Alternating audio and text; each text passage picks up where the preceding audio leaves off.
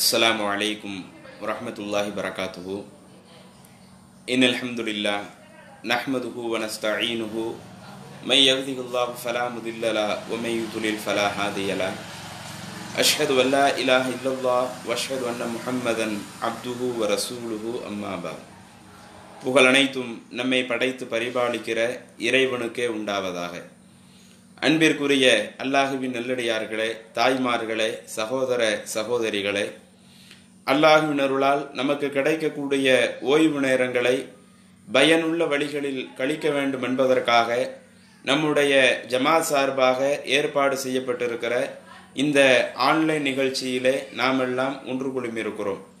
இந்த நிகழ்ச்சியை பார்த்து கொண்டிருக்கக்கூடிய நம் அனைவர்கள் மீதும் அல்லாஹுவின் அருளும் அன்பும் இறுதி வரை உண்டாவதாக என்று பிரார்த்தனை செய்தவனாய் நேற்றைய தினம் நபித்தோழர்களை அறிந்து கொள்வோம் என்ற தலைப்பிலே இந்த தலைப்பு தேர்வு செய்யப்பட்டதற்குரிய காரணம் நபித்தோழர்களை நாம் பின்பற்ற வேண்டும். அவர்கள் சொல்லக்கூடிய சட்டத்திட்டங்களுக்கு நாம் கட்டுப்பட்டு அதை மார்க்க ஆதாரங்களாக எடுத்துக்கொள்ள வேண்டும் என்பதற்காக இந்த தலைப்பு தேர்வு செய்யப்படவில்லை. நாம் பின்பற்ற வேண்டும் என்று சொன்னால் அது இறைவன் புறத்திலிருந்து வந்த வகை செய்தியாக மட்டுமே இருக்க வேண்டும். அந்த வகை செய்தி அல்லாமல் வேறு எதையும் நாம் பின்பற்றக்கூடாது. நபித்தோழர்களுக்கு அல்லாஹு தாலா வகை செய்தி இறக்குவது கிடையாது. அந்த வகை செய்தியை அல்லாஹு தாலா நபிகள் நாயிப் சலாஹ் செல்லம் அவர்களுக்கு இறக்கி வைத்து அதை நபிசுல்லா அலுவலம் அவருடைய கடைசி காலகட்டத்திலேயே அல்லாஹு தாலா முடித்தும் வைத்து விட்டான். எனவே நாம் மார்க்கம் என்று ஒன்றை கேட்பதாக இருந்தால் அதற்கு வகையினுடைய ஆதாரம் இல்லாமல் வகியினுடைய அங்கீகாரம் இல்லாமல் எதுவும் இருக்கக்கூடாது என்ற தகவலை நேற்று பார்த்தோம். இன்னும் அதிலும் தொடர்ச்சியாக அப்ப இந்த தலைப்பு தேர்வு செய்யப்பட்ட சகாபாக்களுடைய வாழ்க்கையை நாம் எடுத்து பார்ப்பதற்குரிய காரணம் அவர்களை பின்பற்ற வேண்டும் என்பதற்காக இந்த தலைப்பு கிடையாது. ஏற்கனவே மார்க்கத்தில் சொல்லப்பட்ட ஒரு காரியத்தை குரானிலேயும் நபிகள் நாயகம் செல்லாலிசலம் அவர்கள் கற்றுத்தந்த அந்த காரியத்தை அதை நபித்தோழர்கள் தங்களுடைய வாழ்க்கையிலே பின்பற்றி காட்டும் பொழுது அதை நாம் ஒரு அடிப்படையாக எடுத்துக்கொண்டு அவர்கள் எப்படி அந்த குரான் சுன்னாவை பின்பற்றுவதற்கு ஆர்வம் எடுத்தார்களோ அதே போல நாமும் என்ன செய்ய வேண்டும்? அந்த காரியத்தை பின்பற்ற வேண்டும். மார்க்கம் சொல்லக்கூடிய அந்த காரியத்தில் நம்ம அலட்சியம் காட்டிடக்கூடாது. அதற்காகத்தான் இந்த தலைப்பே தேர்வு செய்யப்பட்டிருக்குது. ஒருவர் ஒரு நல்ல காரியத்தை செய்வார் என்று சொன்னால் அதற்குரிய கூலி அல்லாஹூத்தால் அவருக்கு கொடுத்து விடுவான். அதே போல அடுத்தவர்கள் அந்த நன்மை செய்வதற்கு இவர் காரணமாக அமைந்தால் இதற்குரிய நன்மையையும் இவர் பெற்றுக்கொண்டே இருப்பார் என்று அந்த நபிமொழியை மேற்கோள் காட்டி நபி சில நபித்தோழர்களுடைய வாழ்க்கையில நாம் பெறக்கூடிய பாடம் என்ன படிப்பினை என்ன என்ற ஒரு தகவலுக்காகத்தான் இந்த தலைப்பு தேர்வு செய்யப்பட்டிருக்கிறது என்பதை நேற்றைய தினம் கண்டோம். அதிலே இறுதியாக ஹன்லலா ரதியுல்லா ஹொன்ஹு அவர்களுடைய வாழ்க்கையிலே நாம் பெறக்கூடிய ஒரு படிப்பினையையும் நேற்று பார்த்தோம். அதனுடைய தொடர்ச்சியாக. இன்றைக்கு இன்னும் சில சஹாபாக்களுடைய வாழ்க்கையில நாம் பெற வேண்டிய சில முக்கியமான படிப்பினைகளை நாம் இன்றைக்கு பார்க்கவிருக்கிறோம். பொதுவாக இறைவன் நமக்கு போடக்கூடிய உத்தரவு நபிகள் நாயம் சுல்லாஸ்லம் அவர்கள் நமக்கு வலியுறுத்திய செய்திகளில் மிக முக்கியமான ஒரு செய்தி இறைவன் நமக்கு வழங்கி இருக்கக்கூடிய அந்த திருமறை குரானை நாம் ஒவ்வொரு நாளும் எடுத்து படிக்க வேண்டும். அதை நாம் மனனம் செய்ய வேண்டும். அப்படி குரானை எடுத்து படிப்பதற்கும் அதை மனனம் செய்வதற்கும் நாம் அதிக முக்கியத்துவம் கொடுக்க வேண்டும் என்பது இறைவன் நமக்கு சொல்லக்கூடிய அந்த செய்திகளில் இதுவும் மிக முக்கியமான ஒரு செய்தி. ஆனால் இன்றைக்கு நம்முடைய சமூகத்தில் குரானை படிக்கக்கூடிய முறைகள் எந்த அளவிற்கு இருக்கிறது? நாம் ஒவ்வொரு நாளும் இறைவனுடைய அந்த வேதத்தோடு நாம் தொடர்பில் இருக்கிறோமா? இன்றைக்கு சில வீடுகளில் குரான் என்பது ஒழுங்காக படிக்கப்படுவதே கிடையாது. அந்த வீட்டில் எப்பயாவது யாரேனும் ஒருவர் இறந்து விட்டால் இறந்தவரை அவரை வந்து படுக்க வைத்து அவரை சுற்றி உட்கார்ந்து கொண்டு அங்க குரானை ஓதுவார்களே ஒழிய அந்த ஜனாசாவை மையமாக வைத்து குரானை ஓதுறாங்களே ஒழிய அந்த ஜனாசா இல்லாத மற்ற நாட்கள் அப்படி ஓத சொல்லி மார்க்கத்தில் இல்லை. இறந்தவங்களுக்காக இறந்தவங்க வீட்டில் குரான் ஓதணும் என்ற சட்டத்திட்டங்கள் எல்லாம் இஸ்லாத்தில் இல்லை. அது தனி விஷயம். ஆனால் அதற்காக எடுத்து ஓதக்கூடிய இந்த சமுதாயம் மற்ற சாதாரண நாட்களில் அந்த குரானுடைய தொடர்பை அதிகம் தங்களுடைய வாழ்க்கையில கடைபிடிக்கிறாங்களா? ரமலான் மாதம் வந்தால் குரானை எடுப்பாங்க. அந்த ஒரு மாத கால குரானை ஓதுறாங்க. அந்த ஒரு ரமலான் மாதம் முடிந்துருச்சுன்னு வைங்க. அதற்கடுத்து மீண்டும் அந்த குரானை பழையபடி ஏதாவது பரன்ல வச்சு மேல வச்சிடுறாங்க. திரும்ப அடுத்த ரமலான் வரணும் அல்லது வீட்டில் யாராவது இறந்து போகணும். அப்பந்தான் அந்த குரானுக்கு வேலை வைக்கக்கூடிய அதை எடுத்து படிக்கக்கூடிய மக்களாக இன்றைக்கு நம்முடைய சமூகத்தில் பல மக்கள் இருக்கிறார்கள். ஆனால் நபிகள் நாயம் சுல்லாஸ்லாம் அவர்கள் சொன்ன நபிமொழிகளை எடுத்து பாருங்கள். அதில் குரானை படிப்பதற்கு அல்லாஹுடைய தூதர் எந்த அளவிற்கு ஆர்வம் மூட்டினார்கள் என்ற தகவலை நாம் முதலிலே அறிந்து கொள்ள வேண்டும். அதற்கு பிறகு இதில் நபித்தோழர்கள் எந்த அளவிற்கு கூடுதல் முக்கியத்துவம் கொடுத்தார்கள் என்பதற்குரிய சில செய்திகளையும் நாம் அறிந்து கொள்ள வேண்டும். அல்லாஹுடைய தூதர் சொல்லக்கூடிய ஒரு நபிமொழி சஹீஹ் முஸ்லீமில் எட்நூத்தி நான்காவது செய்தியாக பதிவு செய்யப்படுகிறது. நபிகள் நாயம் சுல்லாஸ்லம் அவர்கள் குறிப்பிடுகிறார்கள் இஹ்ர உல் குரான நீங்கள் குரானை படித்து வாருங்கள். குரான் என்கிறது சும்மா அல்லாஹூத்தால நமக்கு ஒரு வேதத்தை கொடுத்து தொழுகையில ஓதுறதுக்காக மட்டும் நம்ம அந்த குரானை பயன்படுத்தக்கூடாது. அந்த தொழுகையை தாண்டி மற்ற நேரங்களிலேயும் நீங்கள் என்ன செய்யுங்கள்? குரானை படித்து வாருங்கள்.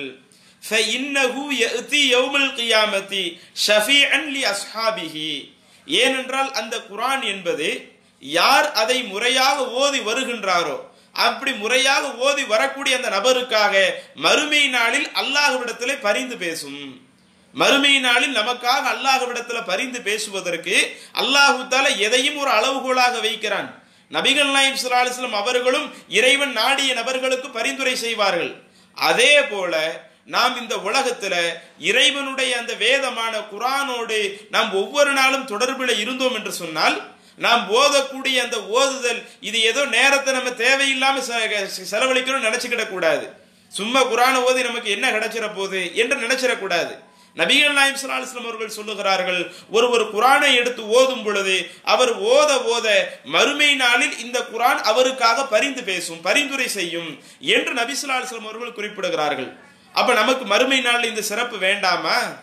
நமக்கு ஒருவேளை அல்லாஹ் காப்பாத்தனும் நாம் வந்து தண்டனைக்குரியவர்களாக மறுமை நாளில் மாறிவிட்டால் நமக்காக அல்லாஹ்விடத்திலே பரிந்து பேசுவதற்கு நாம் போதக்கூடிய அந்த குரான் நமக்கு வர வேண்டாமா ஆனா இன்றைக்கு இதையெல்லாம் அறிந்து கொண்டும் பல மக்கள் அந்த குரானுடைய தொடர்பு இல்லாத மக்களாகத்தான் இருக்கிறார்கள். அதே மாதிரி பாருங்க சஹீஹுல் புகாரியில ஐயாயிரத்தி இருபத்தி ஏழாவது செய்தியாக நபிகள் நாயம் சலாஹம் அவர்கள் குறிப்பிடுகிறார்கள். ஹைருக்கும் மன் த அல்லமல் குர்ஆன அல்லமகு உங்களிலே சிறந்தவர் யார் என்றால் யார் குரானை கற்று அடுத்தவர்களுக்கு கற்றும் கொடுக்கிறாங்களோ அவர்கள் தான் உங்களில் சிறந்தவங்க. இன்னைக்கு நம்மளுடைய நிலைகள் எல்லாம் தனியாக இருக்கும். நம்ம ஒரு ஆளை சிறப்பிற்குரியவராக சொல்றதா இருந்தா நல்ல அழகுள்ளவராக இருக்கணும்னு எதிர்பார்க்கலாம். நல்ல காசு உள்ளவரை சிறந்தவர்னு நம்ம சொல்லலாம். நல்ல படித்தவங்களை சிறந்தவங்கன்னு சொல்லலாம். நல்ல திறமை மிக்கவங்களை சிறந்தவங்கன்னு சொல்லலாம் இப்ப நம்முடைய பார்வையில் ஒருவர் சிறந்தவராக சொல்வதாக இருந்தால் ஒரு ஆணையோ பெண்ணையோ சிறந்தவராக சொல்வதாக இருந்தால் நம்ம படிப்பையும் பொருளாதாரத்தையும் ஒருவர்கிட்ட இருக்கக்கூடிய வாழ்க்கை வசதிகளை வச்சு சிறந்தவர்னு சொல்லுவோம். ஆனா நபிகள் நாயம் சுல்லாஸ்லாம் அவர்கள் என்ன குறிப்பிடுறாங்க? சிறந்தவங்க என்பதற்கு எது அளவுகோலாக கற்றுத்தர்றாங்க? ஹைருக்கும் மண் அல்லமல் குரான் யார் குரானை கற்றுக்கொள்கிறாரோ முதல்ல அவங்க குரானை படிப்பதற்கு முயற்சி எடுக்கணும். குரான் ஓத தெரியாதவங்களாக இருந்தால் அப்படியே காலத்தை கழிச்சிட போயிடக்கூடாது. அந்த குரானை படிப்பதற்கு முதல்ல முயற்சி எடுக்கணும். குரானை நல்ல முறையில் படிக்கணும். இப்படி குரானை படிப்பதற்கு முயற்சி எடுத்து படித்து முடித்து அதை அடுத்தவர்களுக்கும் சொல்லி கொடுக்கணும். நம்ம குடும்பத்தில் யாரேனும் ஒருவருக்கு குரான் தெரியாமல் இருக்குதா படிக்க தெரியாமல் இருக்கிறாங்களா? அவங்களுக்கு படிக்க சொல்லி கொடுக்கணும். பிள்ளைகளுக்கு தெரியாம இருக்குதா அக்கம் பக்கத்துல தெரியாம இருக்கிறாங்களா? இப்படி யார் குரானை படிக்க தெரியாமல் இருக்கிறார்களோ அவர்களுக்கும் கற்றுக் கொடுக்கணும். இந்த ரெண்டு தன்மை யாரிடத்தில் இருக்கிறதோ அவர்தான் உங்களிலே சிறந்தவராக இருக்க முடியும் என்று அல்லாஹுடைய தூதர் குறிப்பிட்டார்களே. இன்னைக்கு நம்மளை நாமளே பரிசோதனை செய்து பார்ப்போம். இன்னைக்கு நம்ம சமுதாயத்துல குரானை முறையாக எடுத்து ஓதக்கூடிய மக்கள் எத்தனை பேர் இருக்கிறாங்க? இதற்கு ரொம்ப கஷ்டப்பட தேவையில்லை. பள்ளிவாசல்ல வத்து டயத்துல ஏதாவது சத்தம் போட்டு ஓதக்கூடிய தொழுகை இருக்குது இல்லை அந்த ஃபஜிர் தொழுகையாக இருக்கட்டும் அல்லது மகரிப் இஷா தொழுகையாக இருக்கட்டும் என்னைக்காவது ஒரு நாள் அந்த பள்ளிவாசல்ல தொழுக வைக்கக்கூடிய இமாம் வரலன்னு வைங்க. அப்பந்தான் மக்களுடைய திண்டாட்டத்தை பார்க்கணுமே. நம்ம போய் எப்படி முன்னாடி நின்று தொழுக வைக்க முடியும்? நம்ம எங்க ரொம்ப அதிகமான சூறாக்களை மனப்பாடம் பண்ணியிருக்கிறோம்? நமக்கு எங்க குரான் ஓத தெரியுது? அதற்காக சில மணி சில நிமிடங்கள் கழிந்தாலும் பரவாயில்லை. யாராவது குரான் ஓதுறவங்க வந்து தொழுகை வைக்கட்டும். குரானை மனப்பாடம் பண்றவங்க வந்து தொழுக வைக்கட்டும் என்ற அளவிற்கு தான் இன்னைக்கு நம்ம சமுதாயத்தில் அதிகமான மக்களுடைய நிலை இருக்கிறது. சின்ன வயதுல குரானை ஓதி படித்த பல மக்கள் மதரசாக்களுக்கு சென்று குரானை படிப்பதற்கு முக்கியத்துவம் கொடுத்த பல மக்கள் அந்த சின்ன வயதோடு குரானை மூடி வைத்ததனுடைய விளைவு. அதற்கடுத்து குரானை எடுத்து படிக்காததனுடைய விளைவு. இன்றைக்கு இளைஞராக மாறி போன பிறகு குரானை ஓத தெரியாம இருக்கிறாங்க. முதிய பருவத்தில் வந்த பிறகு குரான் ஓத தெரியாம இருக்கிறாங்க. இப்படி எத்தனை பேர் இன்றைக்கு குரானை ஓதாத மக்களாக இருக்கிறோம்? இன்னும் சொல்ல போனா இப்போதெல்லாம் நமக்கு ஒரு சிறந்த ஒரு வாய்ப்பு இருக்கிறது. இந்த ஊரடங்கு உத்தரவு என்பது இன்னைக்கு நம்ம எல்லாம் வீட்டுக்குள்ளே தான் அடைஞ்சு கிடக்கிறோம். எந்த ஒரு தொழிலுக்கும் நம்ம வெளியே போக முடியல. வெளியில அதற்காக பல நெருக்கடிகள் கட்டுப்பாடுகள் எல்லாம் இன்றைக்கு இருந்து கொண்டிருக்கிறது. அப்ப வீட்டிலேயே இருபத்தி நாலு மணி நேரங்களை செலவிடக்கூடிய நாம் அதுல வந்து தூங்குவதற்குரிய நேரம் போக மற்ற சில தேவைகளுக்காக உள்ள நேரம் போக மற்ற பெரும்பாலான நேரங்களை எதற்கு பயன்படுத்துகிறோம் எதற்காக நம்ம செலவழிக்கிறோம்? டிவி பார்க்கறதுல உட்காந்து செலவழித்துக்கிட்டு இருக்கிறோம். ஃபேஸ்புக் பார்க்கறதுல வாட்ஸ்அப்பு ட்விட்டரு சமூக வலைதளங்களை பயன்படுத்துறதுல செலவு பண்ணிக்கிட்டு இருக்கிறோம். இப்படி நம்மளுடைய வாழ்க்கையை தேவையற்ற காரியங்களில் நேரங்கள் அதிகம் கிடைச்சும் அதை தேவையற்ற காரியங்களில் செலவழிக்கக்கூடிய இந்த நேரத்தை நம்ம குரானை ஓதுறதுக்கு முயற்சி எடுத்தா என்ன? இன்னைக்கு வீட்டில் ஆண்களுக்கு குரான் ஓத தெரியலையா? நம்ம மனைவிக்கு குரான் ஓத தெரியுதா? அவங்களை உட்கார வச்சு எனக்கு குரான் ஓத சொல்லி கொடு. நான் குரான் ஓத படிச்சுக்கிடுறேன். என்று அதற்காக நம்ம முயற்சி எடுத்தா என்ன? அல்லது பெண்களுக்கு நீங்க ஓத தெரியாம இருக்கும் பொழுது நம்ம வீட்டுல பசங்களுக்கு குரான் ஓத தெரியுதா? ரொம்ப சின்ன பையங்களாக இருந்தாலும் பிரச்சனை இல்லை. அவங்கள்ட்ட இருந்து நம்ம பாடம் படிப்பதற்கு முயற்சி எடுத்திருக்கலாம் இல்ல. அப்ப இன்றைக்கு பல நேரங்கள் கிடைத்தும் இந்த நேரத்தையும் நம்ம என்ன செஞ்சிடக்கூடாது? குரானை எடுத்து படிப்பதற்கு முயற்சி இல்லாம போயிடக்கூடாது. ஏன்னா அல்லாஹுடைய தூதர் சொல்றாங்க நம்மள ஒருவர் சிறந்தவராக இருக்க வேண்டும் என்றால் அவர் குரானை முதல்ல படிக்க தெரியணும் அதற்கடுத்து அடுத்தவர்களுக்கு சொல்லியும் கொடுக்கணும். இந்த ரெண்டு தன்மை இருக்க வேண்டும் என்று நபிசுல்லா அலுவலாம் குறிப்பிடுறாங்களே. இன்றைக்கு இந்த நிலைகளில் நாம் எப்படி இருக்கிறோம்? சற்று சிந்தித்து பாருங்கள். அதே மாதிரி சஹீஹ் முஸ்லீமில் எழுநூத்தி தொண்ணூத்தி எட்டாவது ஹதீஸாக பதிவு செய்யப்படுது. நபிகள் நாயம் சலாஹ்லாம் அவர்கள் குறிப்பிடுறாங்க அல் மாஹிரு பில் குரானி யார் குரானை நல்ல முறையில் ஓதி வருகிறாரோ அப்படி ஓதி வரக்கூடியவர் மக சஃபரத்தில் கிராமில் பரரா. அவர்கள் தூய்மையான சங்கைக்குரிய அந்த வானவர்களோடு இருப்பார்கள். எந்த அளவுக்கு ரசூலா சிலவங்க சிறப்புப்படுத்துறாங்க பாருங்க. வல்லதி எக்கர உல் குரான எத்த ஃபீஹி. யார் ஒருவர் குரானை படிக்கிறாரு ஆனா அவருக்கு வந்து அழகி வகுவ அழகி ஷாக்குன். அவருக்கு படிக்கிறதுக்கு பல சிரமங்கள் இருக்குது. ஆரம்பத்தில் படிப்பதற்கு முயற்சி எடுக்காமல் அல்லது இப்பந்தான் அவர் படிக்கிறதுக்கு முயற்சி எடுத்து ரொம்ப சிரமப்பட்டு திக்கி திக்கி என்ன செய்கிறாரு? ஒருவர் குரானை படிக்கிறார். இப்படி படித்தாலும் லகு அஜிரானி. அவருக்கு அல்லாஹு சுபானுவத்தால இரண்டு நன்மைகளை தருகிறான் என நபிசுல்லாஸ்லாம் அவர்கள் குறிப்பிடுகிறார்கள். அப்ப இந்த நபி மொழியில் நபிசுல்லாஸ்லாம் அவங்க சொல்றது என்ன? ஒருவர் குரானை ஒழுங்காக படித்து வருவார் என்று சொன்னால் அதுல மனநமும் செய்வார் என்று சொன்னால் சங்கைக்குரிய வானவர்களோடு இருக்கக்கூடிய ஒரு வாய்ப்பு அல்லாஹு தாலா தருவான். இப்படி இது ஒரு சிறப்பு. இப்ப நமக்கு குரான ஓது படிக்க தெரியாம இப்ப முயற்சி எடுத்தாலும் நமக்கு கிடைக்கக்கூடிய ஓய்வு நேரங்கள்ல முயற்சி எடுத்தாலும் இதை படிக்கிறதுக்கு ரொம்ப நாள் கணக்கில் உட்கார தேவையில்லை. பதினஞ்சு ஒரு மாசம் ரெண்டு மாசம்னு உட்கார்ந்து கஷ்டப்பட தேவையில்லை. நமக்கு கிடைக்கக்கூடிய நேரங்கள்ல அதுல சில வார்த்தைகள் இருக்குது. அது ஒவ்வொரு வார்த்தைகளுக்கும் ஒவ்வொரு குறியீடு வந்தால் எப்படி உச்சரிக்கணும்? அதற்காக நாம் ஒவ்வொரு நாளும் கொஞ்ச நேரத்தை மெனக்கட்டாலும் கொஞ்ச நேரத்தை ஒதுக்கினாலும் அந்த குரானை நாம சிறந்த முறையில படிச்சிடலாம். அப்ப யார் அப்படி குரானை படிப்பதற்கு கஷ்டப்பட்டு படிக்கிறாங்களோ அவங்க கஷ்டப்படுறதுக்காக அல்லாஹுத்தால் நன்மையே தராம இருக்கிறது இல்ல மாறாக ரெண்டு மடங்கு நன்மையை தருகிறான் என்று இந்த அளவிற்கு மார்க்கம் நமக்கு என்ன செய்கிறது? அந்த குரானோடு இந்த சமுதாயம் என்றென்றும் தொடர்பில் இருக்கணும் என்று குறிப்பிடுகிறது. அதே மாதிரி நபிகள் நாயம் சலாஹ்லாம் அவர்கள் சொல்லக்கூடிய ஒரு நபிமொழி சஹீகுல் புகாரியில ஐயாயிரத்தி இருபதாவது செய்தியாக பதிவு செய்யப்படுகிறது. நபிகள் நாயம் சலாஹ்லாம் அவங்க சொல்லி காட்டுறாங்க. மசலுல் முக்மின் உள்ளது எக்கர உல் குரான் குரானை ஓதி வரக்கூடிய இறை நம்பிக்கையாளர்கள் இருக்கிறாங்கல்ல. மூமின்கள்லயே குரான் ஓதுற மக்களும் இருப்பாங்க. ஓதாத மக்களும் இருப்பாங்க.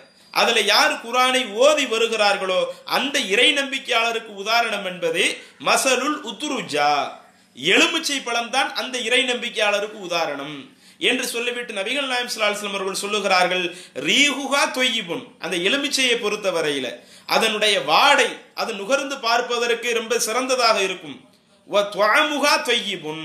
இன்னும் அதை அந்த எலுமிச்சையை சாப்பிடும் பொழுது அதனுடைய சுவையும் சிறந்ததாக இருக்கும். யார் இறை நம்பிக்கையாளராக இருந்து குரானை படிக்கிறாங்களோ அவங்களுக்கு ரசுலாசல் எப்படி சொல்றாங்க? எலுமிச்சையை உதாரணம் சொல்லி அதை சாப்பிட்டாலும் சூப்பராக தான் இருக்கும். அதை நுகர்ந்து பார்த்தாலும் வாடையும் சூப்பரா தான் இருக்கும். இப்படித்தான் இந்த குரானோடு தொடர்பில் இருக்கக்கூடிய இறை நம்பிக்கையாளர் என்று சொல்லிவிட்டு அதிலே தொடர்ச்சியாக சொல்றாங்க.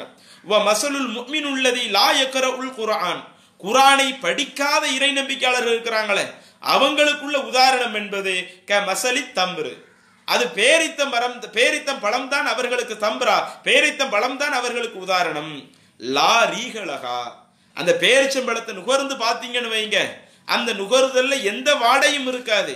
துவாமுகா உள்வன். ஆனா அதை சாப்பிடும் பொழுது அதனுடைய டேஸ்ட் இனிமையா இருக்கும் ஆனா அதுல வாடை இருக்காது. இறை நம்பிக்கையாளராக இருந்தால் அவருக்கு வந்து இதுதான் உதாரணம். வாடை இல்லாத அந்த பேரிச்சம்பள உதாரணம் என்று நபிகள் நாயம் சலாஹம் அவர்கள் சொல்லிவிட்டு அடுத்து சொல்லுகிறார்கள் ஓ மசலுல் முனாஃபிக் உள்ளதி எக்கர உல் குரான் குரானை ஓதி வரக்கூடிய முனாஃபிக் இருக்கிறானு. பொதுவாக முனாஃபிக் என்றாலேயே நம்முடைய மார்க்கம் அதிகமாக கண்டித்து சொல்லக்கூடிய தன்மைகள் அந்த முனாஃபிக் தன்மை உள்ளது நயவஞ்சக தன்மை ஒருவன் நயவஞ்சகனாக இருந்து கொண்டு குரானை ஓதக்கூடிய இந்த ஒரு நல்ல பழக்கத்தை அவன் கையில் எடுக்கிறான். அப்ப அந்த குரானை ஓதக்கூடிய இந்த நயவஞ்சகனுக்கு உதாரணம் என்பது க மசலிர் ரைஹானா துளசி செடி அவனுக்கு உதாரணம். ரீஹுகா தொய்யிபுன் அந்த துளசி செடியை மோந்து பார்க்கும் பொழுது அதனுடைய வாடை சிறந்ததாக இருக்கும். வ துவாமுகா முர்ருன். அதனுடைய டேஸ்ட் துளசியினுடைய டேஸ்ட் அது கசப்பா இருக்கும். வாடை நல்லா இருக்குது. இவன் குரான் ஓதுறான். ஆனா அவன் முனாஃபிக்கா இருந்துகிட்டு இருக்கிறான். ஆனா அந்த குரான் ஓதுறதுனால அவனுக்கு அந்த வாடை நல்லதாக இருக்கக்கூடிய ஆனால் சுவை கெட்டு போகக்கூடிய துளசிய ரசூலாசலம் என்ன செய்யறாங்க உதாரணமாக சொல்லுகிறார்கள். ஓ மசலுல் முனாஃபிக் உள்ளதி லாயக்கர உள் குரான் குரானை ஓதாமல் இருக்கின்றானே. அந்த இறை நம்பி அந்த முனாஃபிக்கு அந்த நயவஞ்சகனுக்கு உதாரணம் க மசலில் ஹன்லலா. குமட்டிக்காய் தான் அவனுக்கு உதாரணம். லைசலஹா ரீஹுன் வ துஆமுகா முர்ருன். அந்த குமட்டிக்காயில அதுல வாடையும் இருக்காது. அதை சாப்பிட்டா அது டேஸ்டாவும் இருக்காது. கசப்பா தான் இருக்கும் என்று அல்லாஹுடைய தூதர் இந்த அளவுக்கு பிரித்து சொல்லுகிறார்கள். இறை நம்பிக்கையாளர்களில் குரானை ஓதக்கூடியவங்க. இறை நம்பிக்கையாளரில் குரானை ஓதாதவங்க. முனாஃபிக்கில் குரானை ஓதக்கூடியவங்க. முனாஃபிக்கில் குரானை ஓதாதவங்க. இதில் அந்த குரானை ஓதக்கூடிய அந்த தன்மை நாம் முனாஃபிக்குடைய தன்மை நமக்கு வந்துடக்கூடாது. அதெல்லாம் காப்பாற்றணும் நாம் இறை நம்பிக்கையாளராக இருந்து குரானை ஓதக்கூடிய மக்களாக இருந்தால் அவங்களுடைய அனைத்துமே நல்லா இருக்கும். அதற்கு ரசூலாசில எலுமிச்சை உதாரணம் சொன்னாங்கல்ல. இப்படி பல செய்திகள் இருக்கிறது. நாம் குரானோடு அதிகமான தொடர்புல இந்த உலகத்தில் இருக்கணும். நம்ம அந்த குரானை எடுத்து படிக்க படிக்க ஒவ்வொரு எழுத்திற்கும் நமக்கு பத்து நன்மைகள் இருந்து கொண்டே இருக்கும் என்றெல்லாம் சொல்லக்கூடிய பல நபிமொழிகள் இருக்கிறது. அப்ப இந்த அளவிற்கு வலியுறுத்தி சொல்லப்படக்கூடிய இந்த க- செயல் என்பது நம்மள பல நபர்களிடத்தில் அறவே இல்லாத செயலாக இருக்கிறது. அல்லது ரமலான் மாதத்தில் மாத்திரம் நம்ம கடைபிடிக்கக்கூடிய ஒரு அமலாக இருக்கிறது. இன்னும் பல நபர்களுக்கு குரானையே ஓத தெரியாமல் குரானை படிக்க சொன்னாலேயே வெறுமனே நம்மளுடைய தாய்மொழியில மட்டும் எடுத்து படிக்கக்கூடிய மக்களாக அதனுடைய அரபியை எடுத்து படிப்பதற்கு முயற்சி எடுக்காத மக்களாக இப்படி நம்மளுடைய வாழ்க்கை சென்று கொண்டிருக்கிறது. இது தொடர்பாக எத்தனையோ பல பயான்களில் நம்ம கேள்விப்பட்டாலும் அதில் நமக்கு பல மனமாற்றங்கள் வருதா? அதில் நம்ம திருத்தி கொள்ளக்கூடிய மக்களாக இருக்கிறோமா? ஆரம்பத்தில் எப்படி இருந்தோமோ ஒரு உரையை கேட்ட பிறகு அது நம்மளுடைய உள்ளத்துல பல மாற்றங்களை கொண்டு வந்து அதற்கடுத்து இந்த குரானோடு சரியான தொடர்பில் இருக்கக்கூடிய மக்களாக இதுவரை மாறி இருக்கிறோமா? அப்ப நம்முடைய வாழ்க்கைகள் எல்லாம் இப்படித்தான் போயிருக்கிறது. ஆனால் நபி தோழர்களுடைய வாழ்க்கையை கொஞ்சம் எடுத்து பாருங்க. அதை நம்ம அறிந்து கொள்ள வேண்டிய என்னென்ன செய்திகள் இருக்கிறது என்பதற்கு சஹீகுல் புகாரியில நாலாயிரத்தி முன்னூத்தி இரண்டாவது செய்தியாக பதிவு செய்யப்படுகிறது. இந்த ஹதீஸ் என்பது இன்றைக்கு பெரியவர்களுக்கும் இதில் அதிகமான பாடம் இருக்கிறது. நம்ம வீட்டில் இருக்கக்கூடிய சின்ன குழந்தைங்களுக்கும் இன்னைக்கு அதிகமான பாடம் இருக்கிறது. இன்றைக்கு சில முஸ்லீம் குடும்பத்தில் உள்ளவங்க நம்ம என்ன செய்வோம்? நம்ம பிள்ளைங்களை நம்மளுடைய இஸ்லாமிய கொள்கைகளையும் போதனைகளையும் போதிக்கக்கூடிய சில ஸ்கூலுகளுக்கு அனுப்பிச்சு வைக்கிறோம். அங்க ஸ்கூல்ல குரான் ஓத நம்ம சொல்லி தரத்தம் செய்யறாங்க நம்ம பிள்ளைகளுக்கு. இன்னும் சொல்ல போனா அந்த குரான் எழுத்துக்களை எழுதுவதற்கும் அலிஃப் பாத்தா போன்ற எழுத்துக்களை எழுதுவதற்கும் ட்ரைனிங் கொடுக்கறாங்க. இப்படி ஸ்கூல்ல இந்த அளவிற்கு மெனக்கெடக்கூடிய அங்க ஆசிரியர்கள் இவ்வளவு மெனக்கெடுறாங்கல்ல. ஆனா பெற்றோர்கள் நாம் நம்மளுடைய பிள்ளைகளை உருவாக்குவதற்கு. நம்மளுடைய சின்ன பிள்ளைய அவங்கள வந்து அதிகமான குரான் வசனத்தை மனப்பாடம் செய்ய சொல்லி நம்ம அவங்கள வலியுறுத்தி இருக்கிறோமா? நிறைய சூறாக்களை மனப்பாடம் செய்திருக்கிறார்களா? இன்னைக்கு என்னத்தெல்லாமும் மனப்பாடம் பண்றாங்க. சினிமா பாடல்களை மனப்பாடம் பண்ணிக்கிட்டு இருக்கிறாங்க. நாடகத்தை உட்கார்ந்து பார்த்து அதுல வரக்கூடிய காட்சிகள் அப்படியே மனப்பாடம் பண்ணி அடுத்தவர்களுக்கு ஒப்பிக்கக்கூடியவர்களாக இருக்கிறாங்க நம்மளுடைய பிள்ளைகள் எல்லாம். அப்ப சினிமா பாட்டை சொல்றாங்க சினிமா கதைகளை சொல்றாங்க நாடகங்களை எடுத்து சொல்றாங்க. ஆனால் அதிகமான குரான் உசரங்களை மனனம் செய்து பெரிய பெரிய சூறாக்களை மனநம் செய்து அடுத்தவர்களுக்கு ஒப்பிக்கக்கூடியவர்களாக நம்ம பிள்ளைங்க இருந்திருக்கிறாங்களா? மிஞ்சி மிஞ்சி போனா இன்றைக்கு நம்மளுடைய பிள்ளைகள் என்ன சொல்லுவார்கள்? அல்கம் சூறாவை அடுத்தவர்களுக்கு சொல்லுவார்கள். குல்ஹு அல்லாஹ் சூரா இஹ்லாச சொல்லுவாங்க. சூரா ஃபலக்க சொல்லுவாங்க. சூரா நாச சொல்லுவாங்க. இப்படி அந்த அம்ம ஜூசுவில் கடைசி சின்ன சின்ன சூறாக்கள் இருக்குதே அதைத்தான் தேவைப்பட்டால் அடுத்தவர்களுக்கு மனப்பாடம் பண்ணி சொல்லுவாங்களே ஒழிய இப்படி நம்மளுடைய பிள்ளைகள் மனப்பாடம் பண்ணிய சூறாக்கள் என்று எடுத்துக்கிட்டா அதை விரல் விட்டு எண்ணக்கூடிய ஏழு சூறா எட்டு சூறா என்ற அளவுக்கு அடக்கி விடலாம். இன்னும் நாமளும் மனப்பாடம் பண்ணிய சூறாக்கள் பெரியவர்கள் மனப்பாடம் பண்ணிய சூறாக்கள் என்று எடுத்துக்கொண்டார் அதுவும் அந்த அல்கம் சூறா மனப்பாடம் பண்ணியிருப்போம். அம்ம ஜுசுல உள்ள சூறாவும் மனப்பாடம் பண்ணியிருப்போம். சபி ஹிஸ்ம ரப்பிக்கல் ஆயிலா அது குரான்ல ஒவ்வொரு ஜும்மாவில் அவங்க இமாம் ஓத ஓத கேட்டு மனப்பாடம் பண்ணியிருப்போம். சூரா காசியாவை கேட்டு மனப்பாடம் பண்ணியிருப்போம். இதை தாண்டி நாமளும் அதிகமான குரானை மனப்பாடம் பண்ணியிருக்கிறோமா? ஆனால் அந்த ஹதீஸில் நீங்கள் பாருங்கள் புகாரில் நாலாயிரத்தி முன்னூற்றி இரண்டாவது செய்தியாக பதிவு செய்யப்படுது அம்ருபுனு சலமா என்ற அந்த நபித்தோழர் குறித்து. இன்னும் சொல்ல போனால் இது வந்து இவங்களுடைய பெரிய வயதில் நடந்த ஒரு சம்பவம் கிடையாது. இவங்க வந்து ஒரு ஆறு வயது அல்லது ஒரு ஏழு வயதாக இருக்கும் பொழுது நடந்த ஒரு சம்பவம். இதை அந்த தோழரை என்ன செய்கிறாங்க நமக்கு சொல்லி காட்டுறாங்க. நாங்கள்லாம் ஆரம்பத்தில் இஸ்லாத்தை ஏற்றுக்கிடலை இந்த அம்பருபுனு சலமா என்ற இந்த தோழர் அவங்களுடைய தந்தை இன்னும் அவங்களுடைய இந்த கூட்டத்தார்கள் எல்லாம் ஆரம்பத்தில் இஸ்லாத்தை ஏத்துக்கிடல. குன்னா பி மா இன் மமுருன் நாஸ் மக்கள் வந்து நீருக்காக செல்லக்கூடிய ஒரு இடத்தில் நாங்கள் வசித்து கொண்டிருந்தோம். இவங்க இருக்கக்கூடிய ஏரியா எப்படி இருக்குது? ஒரு நீர்நிலைக்கான ஒரு ஏரியா. ஓ காண எமுர்ரு பினர் ருக்குபான் எங்களை தான் இன்னைக்கு யாரேனும் வணிக கூட்டம் கடந்து போறதா இருந்தார் அவங்க வந்து எங்க ஏரியாவில் வந்து கொஞ்ச நேரம் தங்கி அங்க இருக்கக்கூடிய நீரை எடுத்து அவங்க தங்களுடைய வாழ்க்கைக்காக பயன்படுத்தி கொண்டு ஏன்னா அன்றைக்கு அன்றைய பாலைவனத்துல வந்து வெளியூருக்கு போறதா இருந்தா அதுல வந்து ஒரு நீர்நிலை ஏரியா வருதுன்னு வைங்க. அங்க கொஞ்ச நேரம் ரெஸ்ட் எடுத்து அந்த தண்ணீரை பயன்படுத்தி குடிப்பதற்காக இன்ன தேவைகளுக்காக பயன்படுத்துறதுக்காக கொஞ்ச நேரம் தங்குவாங்க. அப்ப இந்த அம்பருபுனு சலமா என்ற அந்த தோழர் அவங்க வசிக்கக்கூடிய பகுதி என்பது இது போன்ற ஒரு நீர்நிலை ஏரியாவுக்கு பக்கத்துல இருக்குது. அப்போ பல பயணிகள் அங்கே வருவாங்க. வந்து அங்கே கொஞ்ச நேரம் தங்குவாங்க. அப்படி தங்கக்கூடிய நேரத்துல ஃபனஸ்அலுஹும். வரக்கூடிய அந்த பயணிகளிடத்துல நாங்கள் கேட்போம் மாலின்னாஸ் மாலின்னாஸ். மக்களுக்கு என்னாச்சு மக்களுக்கு என்னாச்சு? மா ஹாதர் ரஜுல். அந்த மனிதருக்கும் என்னாச்சு? நபிஸ்லாஸ்லாம் அவங்களுக்கு குறிப்பிட்டு. இப்படி ஒருவர் தன்னை இறைவனுடைய தூதர்னு சொல்லிக்கிட்டு இருக்கிறாரு அந்த மனிதருக்கு என்ன ஆயிடுச்சு? இன்னும் அவரையும் பின்பற்றி சில மக்கள் போய் கொண்டிருக்கிறாங்களே அந்த மக்களுக்கு என்ன ஆச்சு என்று நாங்கள் வரக்கூடிய மக்கள்கிட்ட என்ன செய்வோம்? எங்க ஏரியாவுக்கு பக்கத்தில் நிறைய பேர் வர்றாங்க. வந்து தண்ணீர் பயன்படுத்துறதுக்கா வர்றாங்க. நாங்கள் அவங்கள்ட்ட கேட்குறோம் ஃபயக்கூலூன அப்போது அந்த மக்கள் சொல்லுகிறார்கள் எஸ்அமு அன்னல்லாக அருசலகு அந்த இறை தூதர் முகமது நபி அவங்க சொல்றாங்களா? அன்னல்லாக அரசலகு அல்லாஹ் அவரை தூதராக அனுப்பியிருக்கிறானா? அவுஹா இலைகி இன்னும் அல்லாஹு தாலா அவருக்கு வகையையும் இறக்குகிறானா என்று சொல்லி இந்த தகவல் என்ன செய்யறாங்க இந்த அம்பருப்புனு சலமா அந்த கூட்டத்தார்களுக்கு வரக்கூடிய மக்கள் சொல்லுவாங்களாம். அப்படி சொல்லக்கூடிய நேரத்தில் ஃபகுந்து அஹ்ஃபலு தாலிக்கல் கலாம். நான் என்ன செய்வேன் தெரியுமா? நான் வந்து அவங்க சொல்லக்கூடிய எதை வகி என்று சொல்லுகிறார்களோ இறைவன் புறத்திலிருந்து இறை தூதருக்கு இறங்கிய செய்தியாக எதை சொல்றாங்களோ அவங்க சொல்லக்கூடிய அந்த வார்த்தைகளை எல்லாம் கவனித்து அந்த வார்த்தைகளை அப்படியே நான் மனநம் செய்து கொள்வேன். வக்க அன்னமா யுகிர்ரு சதரி. மனனம் செய்து அதை என்னுடைய உள்ளத்திலேயே ஆழமாக உறுதியாக நான் அதை மனப்பாடம் பண்ணிக்குவேன் என்று சொல்லிவிட்டு அடுத்து அப்படியே தொடர்ச்சியாக சொல்றாங்க.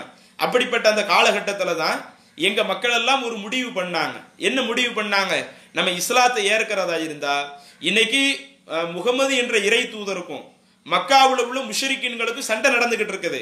அதுல யார் ஜெயிக்கிறாங்கன்னு பார்ப்போம்.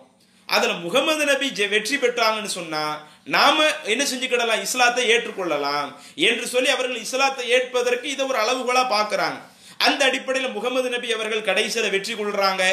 வெற்றி கொண்ட பிறகு இந்த அம்பருப்புனு சலமா என்ற அந்த தூதர் அந்த தோழருடைய நபி தோழருடைய அந்த கூட்டத்தார்களை இஸ்லாத்தை ஏற்றுக்கொள்கிறார்கள். அப்படி இஸ்லாத்தை ஏற்றுக்கொண்டு அம்பருப்புனு சலமா ரதி எல்லா இவங்களுடைய தந்தை ஏன்னா இவங்களுக்கு சின்ன வயசு. அவங்க அத்தா என்ன பண்றாங்கன்னா நபிஸ்லா இஸ்லாம் அவங்கள்ட்ட போய் சந்தித்து இஸ்லாத்தை ஏற்றுக்கொண்ட பிறகு நபிஸ்லா இஸ்லாம் அவங்கள்ட்ட சந்தித்து இஸ்லாத்தினுடைய சில முக்கியமான தகவலை கேட்கறாங்க. அப்ப அதுல நபிஸ்லா இஸ்லாம் அவர்கள் சொன்ன தகவலை அந்த அம்பருப்புனு சலமா அவருடைய தந்தை அவங்க கூட்டத்துக்கு வந்து எடுத்து சொல்றாங்க. அப்படி சொல்லும்போது சொல்றாங்க சல்லு சல்லாத்த கதா ஃபி கீனி ஃபி ஹீன கதா. நீங்க இந்த நேரத்துல இந்தந்த தொழுகை நிறைவேற்றுங்க என்று தொழுகையை நிறைவேற்ற சொல்லி அந்த இறை தூதர் சொன்னார்கள். இன்னும் சொல்றாங்க இதா ஹதரத்தி சலாத்து அந்த தொழுகையினுடைய நேரம் வந்துவிட்டால் ஃபல் யு அத்தின் அஹதுக்கும் உங்களில் யாரேனும் ஒருவர் அந்த தொழுகைக்காக பாங்கு சொல்லட்டும். வல்ய உம்ம வல்ய உம்மக்கும் அக்சரக்கும் குர்ஆனா குரானை யார் அதிகம் மனப்பாடம் பண்ணி இருக்கிறாங்களோ அவங்க உங்களில் தொழுகை நடத்தட்டும். நீங்க இந்தந்த நேரத்தில் தொழுங்கன்னு ரசுல்லா சொல்லி சொன்னாங்க. அந்த தொழுகையினுடைய நேரம் வந்துருச்சுன்னா ஒரு ஆளை பாங்கு சொல்லி சொல்லி சொன்னாங்க. தொழுகை நடத்துவதற்கு உங்களில் யார் குரானை அதிக மனப்பாடம் பண்ணியிருக்கிறாங்களோ அவங்க தொழுகை நடத்துங்க. அப்படின்னு நபிசுல்லாஸ் அவங்க சொன்னாங்க. இப்படி சொன்ன உடனே ஃப நலரு அந்த சமுதாய மக்கள் தேடி பார்க்குறாங்க. சரி இப்போ நம்ம பகுதிகளில் குரானை யார் அதிக மனப்பாடம் பண்ணியிருக்கிறா என்று தேடி பார்க்கும் பொழுது ஃபலம் யக்குன் அஹதுன் அக்ஸர குரானன் மின்னி. அம்ருபுனு சலமார் ரதியல்லாஹு அவங்க சொல்லி காட்டுறாங்க என்னைய விட குரான் அதிக மனப்பாடம் பண்ண ஒரு ஆள் கூட கிடையாது. நான் தான் மற்ற எல்லாத்த விட அதிகமாக மனப்பாடம் பண்ணி இருக்கிறேன் லம்மா குந்து அத்த லத்தி மினர் ருக்குபான் இப்படி வணிக கூட்டம் யாரேனும் வரும் ஒரு ஆட்கள் வரும் பொழுது அவங்க வந்து வகை செய்தி என்று இறை தூதருக்கு இறங்கியதாக சில செய்திகளை சொல்லும் பொழுது நான் அதை அப்படியே மனப்பாடம் பண்ணிக்கிட்டு இருந்தேனா இல்லையா? இதனால என்னைய விட அதிக மனப்பாடம் பண்ணிய ஆட்கள் அந்த சமுதாயத்துல வேற யாருமே இல்லை. கத்தமூனி பைன ஐதீகம் எனவே எங்க கூட்டத்தார்கள் இவை தொழுகுவிப்பதற்காக பெரியவர்களெல்லாம் இருக்கும் பொழுது பெரியவர்களை விட குரான அதிக மனப்பாடம் பண்ணிங்க என்ன என்ன செஞ்சாங்க? தொழுகைக்காக முற்படுத்தினார்கள். அன இபுனு சித்தின் அவ் சபை அந்த நேரத்தில் எனக்கு ஆறு வயது அல்லது ஏழு வயது இருக்கும் என்று இந்த தோழர் அறிவிக்கிறாங்க கொஞ்சம் நினைச்சு பாருங்க. இஸ்லாத்தை ஏற்பதற்கு முன்னாடியே இறைவனுடைய வகை செய்தியாக அவர்களுக்கு சில தகவல் கிடைக்கிறது. அந்த தகவல் அப்படியே மனப்பாடம் பண்றாங்க. திரும்ப அந்த கூட்டம் இஸ்லாத்தை ஏற்றுக்கொள்கிறது. இஸ்லாத்தை ஏற்றுக்கொண்ட பிறகு அந்த சமுதாயத்திலேயே அதிகமான குரான மனப்பாடம் பண்ணி ஆட்கள் யாரு என்று தேடும் பொழுது அதுல ஒரு ஆறு வயது ஏழு வயது மதிக்கத்தக்க இந்த அம்ருபுனு சலமா ரதியலானு இவர்கள் தேர்ந்தெடுக்கப்பட்டு பெரிய நபர்களுக்கெல்லாம் இந்த ஆறு வயது ஏழு வயது மதிக்கத்தக்க இவங்க தொழுக நடத்துறாங்கன்னு சொன்னா இன்றைக்கு நாம் இப்படிப்பட்ட ஒரு நிலையை உருவாக்கி இருக்கிறோமா? இன்னைக்கு நம்ம பகுதிகளிலேயே அதிகமான குரான் வசனத்தை மனப்பாடம் பண்ணி தொழுக வைக்க நான் தயாராக அளவிற்கு பெரியவர்கள் நாம் உருவாகி இருக்கிறோமா? அதே மாதிரி நம்ம வீட்டில் உள்ள பிள்ளைகளை நாம் உருவாக்கி இருக்கிறோமா? இந்த சம்பவத்தை பார்க்கும் பொழுது இவங்க குரான மனப்பாடம் செய்ததெல்லாம் இஸ்லாத்திற்கு வருவதற்கு முன்பாகத்தானே. அப்ப இஸ்லாத்திற்கு வருவதற்கு முன்பாக மனப்பாடம் பண்றாங்க. இன்னும் இன்று குரான் என்பது இன்னைக்குள்ள காலகட்டத்தில் எல்லாமே புத்தக வடிவில் நமக்கு கிடைக்குது. ஆடியோக்களாக வீடியோக்களாக கிடைக்கிறது. நாம் மனப்பாடம் பண்ணுவதாக இருந்தாலும் நம்மளுடைய பிள்ளைகளுக்கு மனப்பாடம் செய்ய சொல்வதாக இருந்தாலும் எல்லாரும் இலகுவாக முடித்து விடலாம். அவ்வளவு வசதிகள் நிறைந்த இன்றைய காலத்துல நாம மனப்பாடம் பண்றதில்லை. நம்ம பிள்ளைகளை மனப்பாடம் பண்ண வைக்கிறது இல்லை பெரிய பெரிய சூறாக்களை படிக்க வைக்கிறது இல்லை நம்ம பிள்ளைங்க மனப்பாடம் பண்ணி பெரியவர்களுக்கு தொழுகை நடத்துன்ற அளவுக்கு நம்ம உருவாக்குறது இல்லை ஆனால் அந்த தோழர்கள் எப்படி உருவாகினாங்க?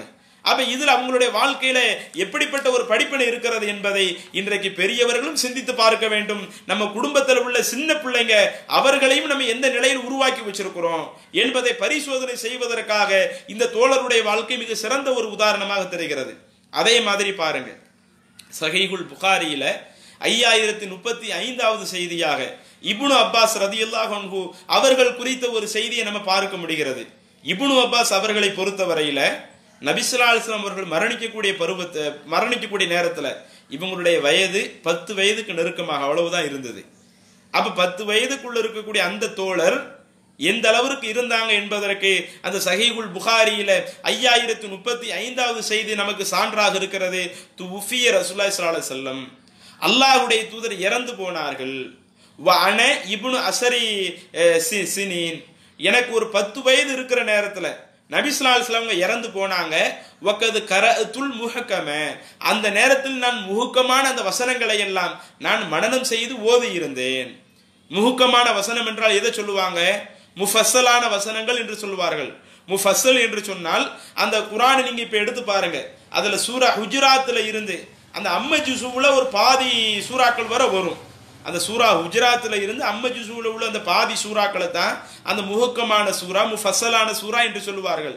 இப்னு அப்பாஸ் அவர்கள் குறிப்பிடுகிறார்கள் நபிகள் நாயம் சுல்லாஸ்லாம் அவர்கள் மரணிக்கக்கூடிய நேரத்தில் எனக்கு பத்து வயசு இருந்துச்சு. அந்த பத்து வயசுல நான் எதெல்லாம் மனப்பாடம் பண்ணியிருந்தேன்? அந்த முஃபசலான சூரா குஜராத்தில் இருந்து அம்ம ஜுசுவில் பாதி சூறா வர. இன்னைக்கு நம்மளை எடுத்துக்கிட்டா எப்படி இருப்போம்? அம்ம ஜூசூல கடைசி பாதியை தான் சொல்லுவோம் ஆனா இவங்க என்ன சொல்றாங்க? சூரா குஜராத்ல இருந்து அம்ம ஜூசூல உள்ள அந்த ப- பெரிய பெரிய சூறாக்கள் எல்லாம் அதுல வருது. அந்த சூறாக்களை எல்லாம் நான் மனப்பாடம் செஞ்சேன். அந்த நேரத்துல எனக்கு வயசு பத்து என்று குறிப்பிடுறாங்களே. இன்னும் அதே சஹீகுல் புகாரில் ஐயாயிரத்தி முப்பத்தி ஆறாவது செய்தியாக மேலே சொன்ன செய்திக்கு அடுத்த இலக்கமாக வருகிறது. சயீது பின் ஜுபேர் என்ற அந்த தோழர் அறிவிக்கிறாங்க. இபுன் அப்பாஸ் அவர்கள் சொல்வதாக. ஜமாத்துல் முஹக்கம ஃபி அகதி ரசுல்லா ஸல்லல்லாஹு சொல்லம் நபிகள் நாயம் ஸல்லல்லாஹு காலத்திலேயே நான் முகுக்கமான வசனங்களை எல்லாம் மனப்பாடம் செய்து விட்டேன் அப்ப ஃபகுல்து லகு அந்த சயீது புனு ஜுபைர் அவங்க இபுனு அப்பாஸ் அவங்கள்ட்ட கேட்கறாங்க வமல் முகக்கம் முகக்கம் என்றால் என்ன?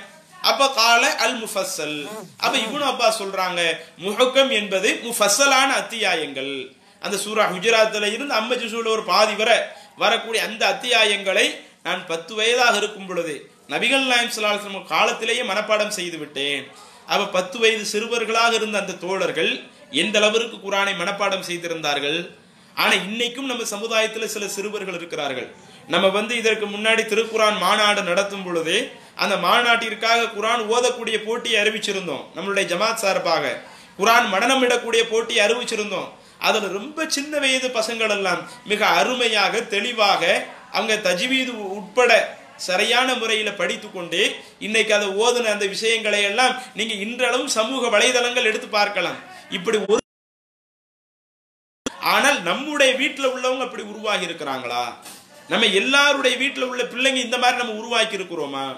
பெரியவர்கள் நாம் இந்த மாதிரி உருவாகி இருக்கிறோமா? என்பதை நம்ம சற்று சிந்தித்து பார்க்கணும். அப்ப குரான் ஓதுறதுல அவங்க எந்த அளவுக்கு முக்கியத்துவம் கொடுக்கறாங்க? மனப்பாடம் செய்யறதுல எந்த அளவுக்கு முக்கியத்துவம் கொடுக்கறாங்க? என்பதற்கு இது ஒரு சான்று. அதே மாதிரி நீங்கள் பாருங்கள் சகிகுல் புகாரியில் மூவாயிரத்தி தொள்ளாயிரத்தி இருபத்தி ஐந்தாவது ஹதீஸாக பதிவு செய்யப்படுகிறது. இன்றைக்கு சில மக்கள் இருக்கிறார்கள். குரான் அவங்க நல்லா ஓதி படிக்கிறாங்க. ஆனால் ஓத தெரியாத பல நபர்கள் இருக்கும் பொழுது அவர்களை கண்டுகொள்ளாமலும் இருக்கிறாங்க. நம்ம எதுக்கு அவங்களுக்காக நேரம் ஒதுக்கணும்? நம்ம எதுக்காக அவங்களுக்கு போய் சொல்லி கொடுக்கணும்? என்று சொல்லி கொடுப்பதற்கு கூட ஆர்வம் இல்லாத மக்களாக இன்றைக்கு சில குரானை நல்ல முறையில் ஓதக்கூடியவர்கள் இருக்கிறார்கள்.